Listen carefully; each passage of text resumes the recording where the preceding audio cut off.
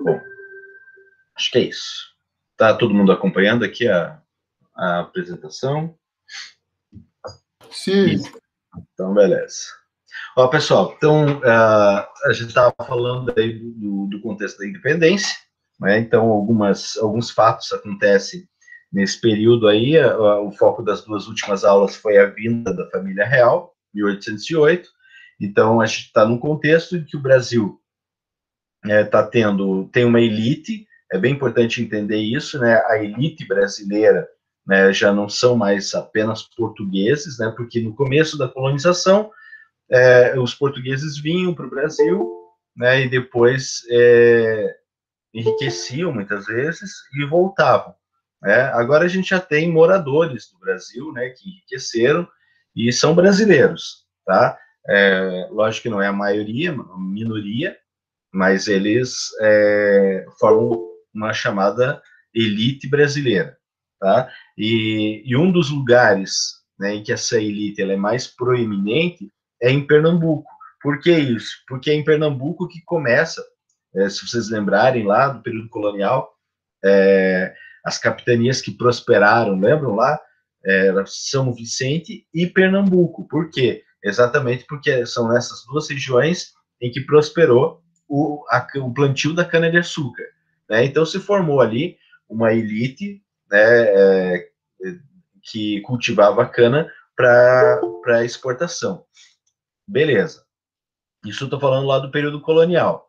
É, quando a gente vai chegando, vai se aproximando aqui da, do, do século XIX, né, então nós temos ali no, nesse caminho, né, lá no início do, da, da história do Brasil, 1532, né, começam a ser montados os primeiros engenhos de cana-de-açúcar lá em Pernambuco.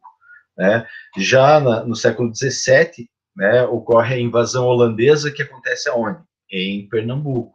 Então, Pernambuco passa por alguns anos, cerca de sete anos mais ou menos, é, dominado pelos holandeses. Nesse período, vocês já devem ter estudado isso, mas nesse período há uma vinda de intelectuais, uma vinda de artistas para Pernambuco naquele governo é, holandês, né, onde o mais é, o governante mais conhecido foi o Maurício de Nassau, né? Então, assim, a gente pode dizer que Pernambuco era uma província, era uma região é, diferenciada das outras, né? Ela tinha uma cultura própria, ela tinha a, algumas coisas que as outras não tinham, tá? Podemos dizer assim que Pernambuco está ali quase que lado a lado com Rio de Janeiro, com Salvador, são as maiores é, regiões né, é, povoadas do Brasil, tá?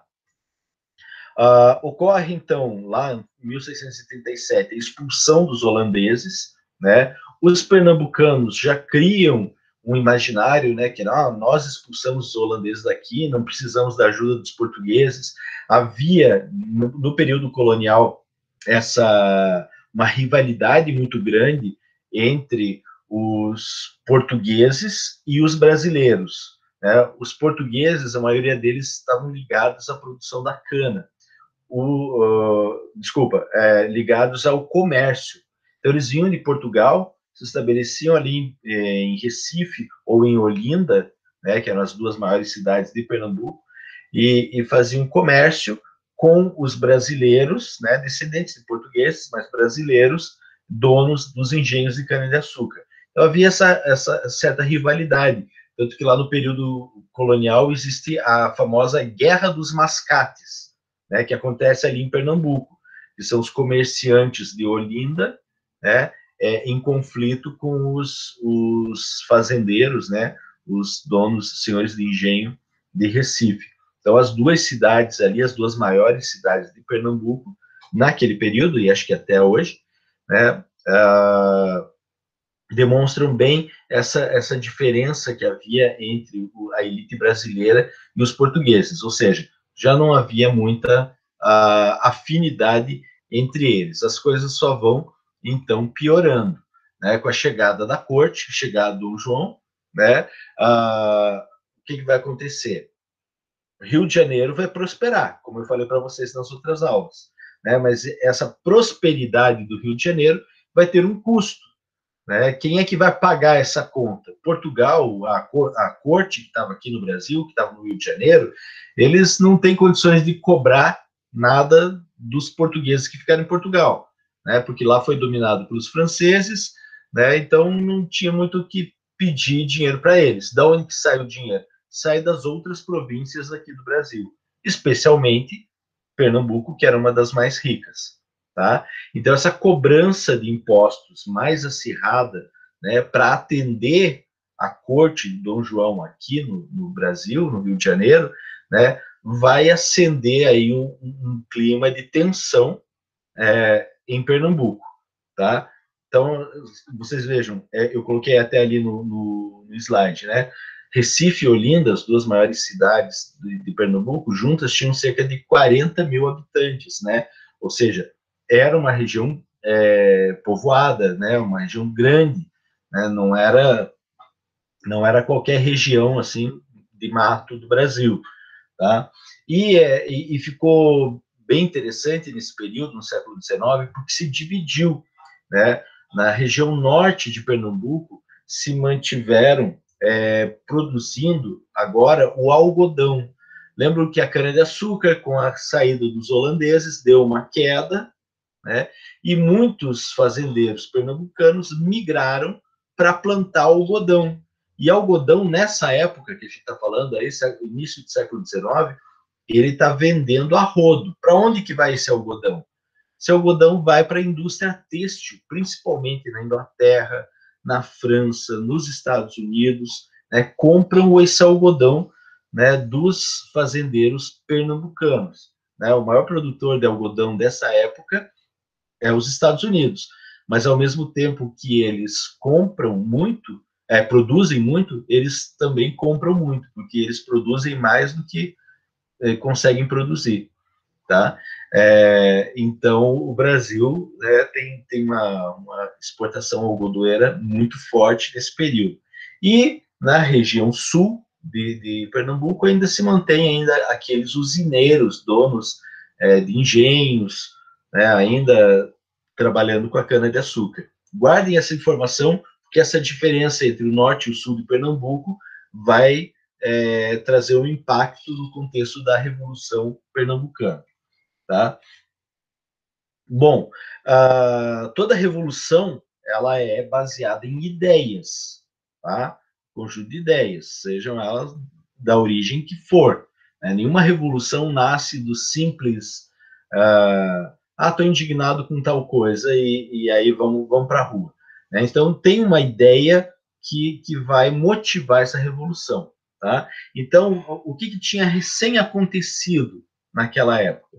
a Revolução nos Estados Unidos, que levou à independência, em 1776, a Revolução Francesa, em 1789, tudo isso é, é por aqueles dias, né? Veja, eu estou falando de 1817, ou seja, a Revolução, a independência dos Estados Unidos tinha acontecido há menos de 50 anos.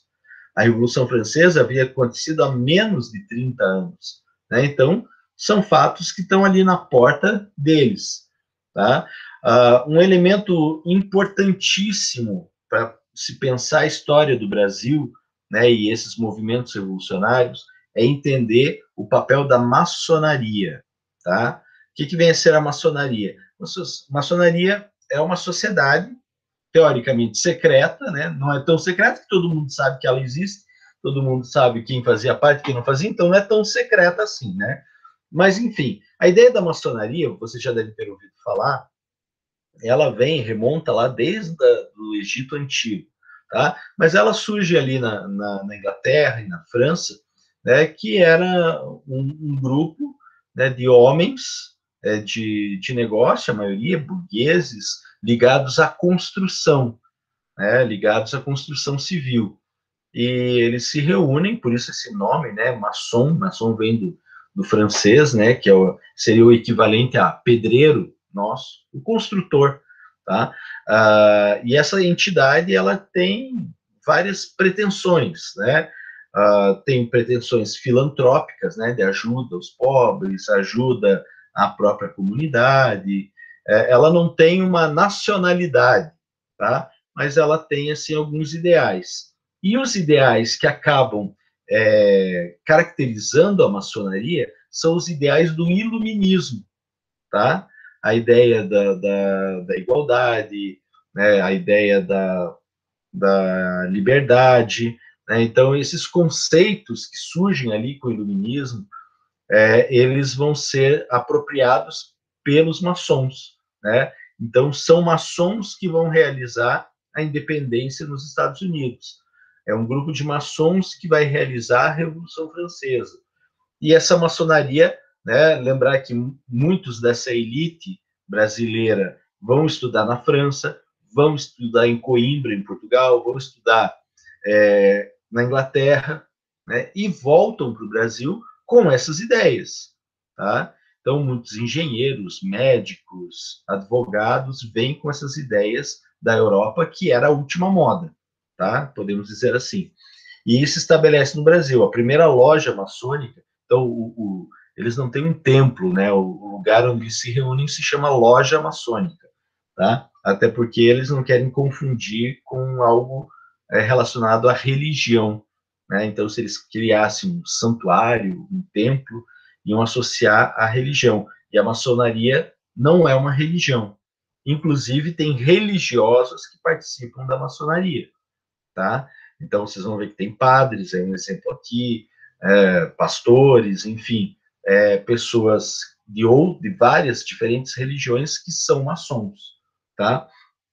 A primeira loja maçônica é aberta em, em Pernambuco, em 1796, tá? E as ideias do iluminismo, de separação da metrópole, ideias revolucionárias, estão ali circulando no ambiente intelectual e, e da elite de Pernambuco. Tá? Aqui a gente tem dois exemplos, dois grandes líderes desse movimento, o, o Domingos José Martins, esse de baixo aqui, né, na, na imagem maior, né? E ele, as ideias dele, né? Por exemplo, se falava dele que ele era alguém que andava abraçado com pretos e pardos, né? Ou seja, era alguém que acreditava na ideia de igualdade entre as pessoas, né? Possivelmente anti-escravista, né? Havia estudado na Inglaterra, tinha uma formação sólida é, na filosofia.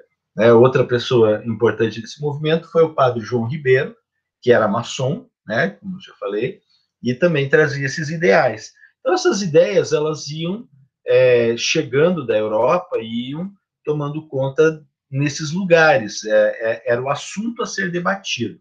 E esse assunto acabou se tornando uma denúncia. Então, denunciaram ao governador, né, que era alguém nomeado pelo Dom João, né, ou seja, não era alguém bem visto pelos pernambucanos, denunciaram ah, ah, denunciaram ao governador que haviam é, revoltosos, revolucionários no, se reunindo e que queriam tomar o poder. Tá?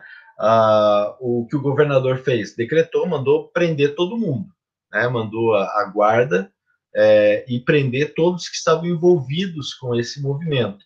Né? E a nhaca acontece quando um, um militar ele resolve entrar na, na, na força da guarda, né, no, no que seria o quartel-general lá dos, dos militares, e, e, decretar prisão a todo mundo ali.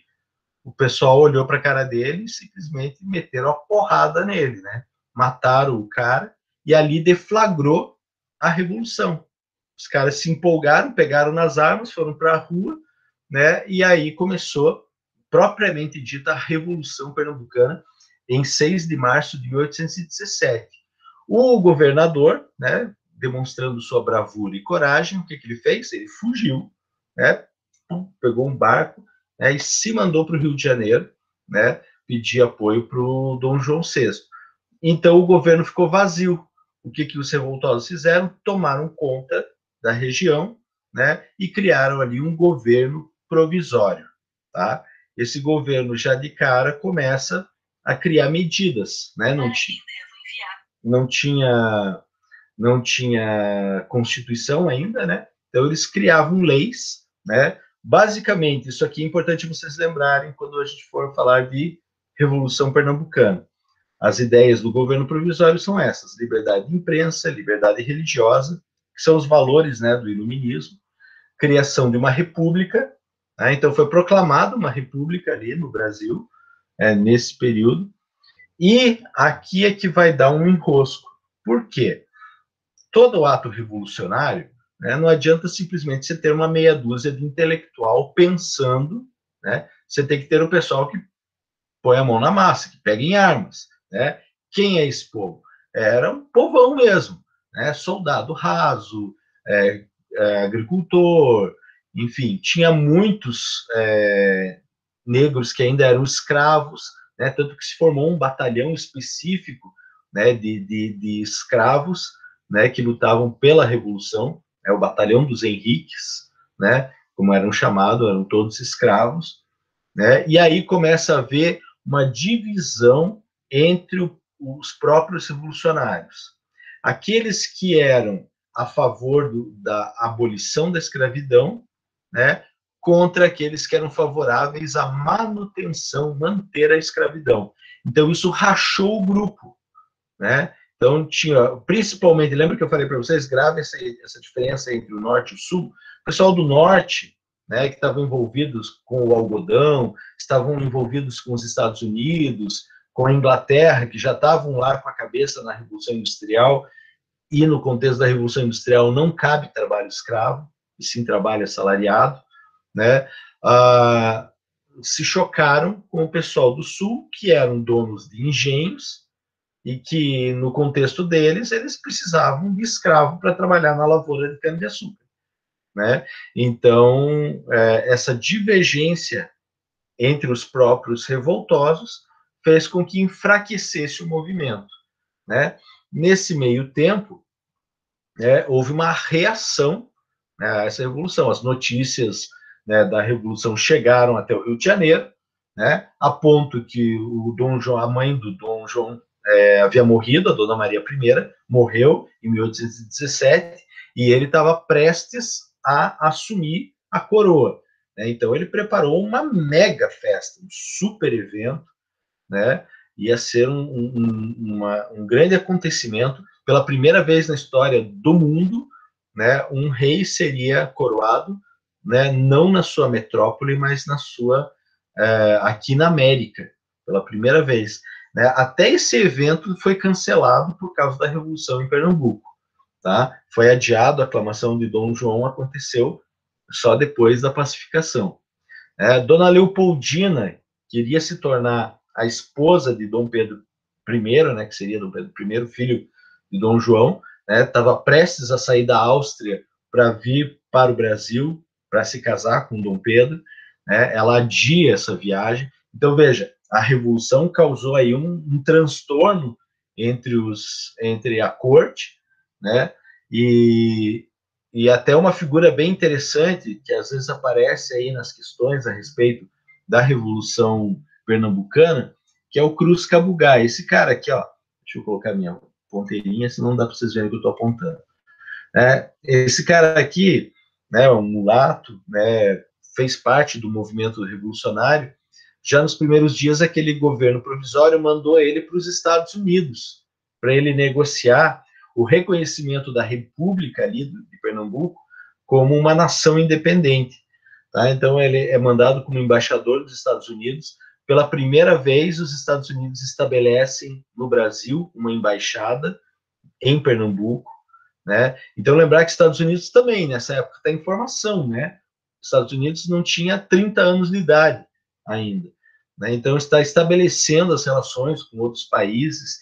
Né? E essa figura aqui desse pernambucano que é bem interessante, porque ele vai né, estabelecer esses contatos com os Estados Unidos, inclusive acaba a revolução, ele fica por lá, né? Porque se viesse para cá morria, né? E, é, e tinham planos assim tão mirabolantes, só para vocês terem uma ideia da revolução, por exemplo, é, de que eles, o Napoleão nessa época ele foi preso, ele foi derrotado pelos ingleses e foi preso numa ilha chamada Ilha de Santa Helena, né?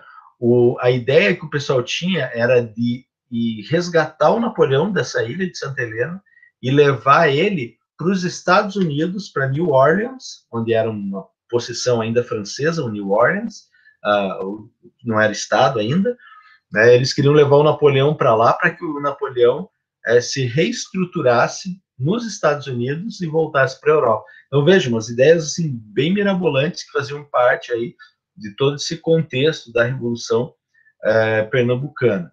O fato é que a Revolução não vai prosperar, né? Porque essa divisão entre eles, entre as principais mentes é, revolucionárias, é, vai fazer com que eles se enfraqueçam. Dom João rapidamente manda tropas por mar e por terra para cercar né, Pernambuco, e aí outros, outros territórios também se aliaram a Pernambuco, é o caso de Alagoas, Rio Grande do Norte, Paraíba, né, se formou ali todo um, um, um eixo no Nordeste revolucionário, que queriam ser separados do Brasil, né, mas Dom João faz o quê? Ele faz o mesmo que o Napoleão fez na Europa, ele cria um bloqueio, só que um bloqueio muito mais eficiente, ele bloqueou é, toda a entrada e saída de navio, de mercadoria para essa região do Nordeste, e em pouco tempo o pessoal não tinha mais o que comer, né? Porque lá se plantava algodão ou cana-de-açúcar, né? Como ninguém vive de algodão e cana-de-açúcar, né? Eles não conseguiram resistir às tropas de Dom João invadiram Pernambuco, prenderam a maioria dos, dos revoltosos, né? mandaram executar, né? Foram foram fuzilados em praça pública, muitos tiveram a cabeça cortada, os braços cortados, os, as mãos cortadas, decepado e o corpo arrastado por cavalo, né, porque isso era, um, era sinônimo de, de poder, né, do rei está mostrando quem é que manda né, no lugar e o que, que acontece com quem é, é revoltoso, tá? É, então, em maio, a revolução durou três meses só. Em maio, 19 de maio de 1817, essa revolução já tinha sido pacificada e chegava ao fim. Tá? Mas é importante entender que, juntamente com a Inconfidência Mineira, juntamente com a Conjuração Baiana, a Revolução Pernambucana, ela está demonstrando né, que o Brasil não queria mais estar ligado a Portugal, precisava e estava em busca da sua independência. E é isso que vai acontecer aí é, nos anos seguintes. Beleza?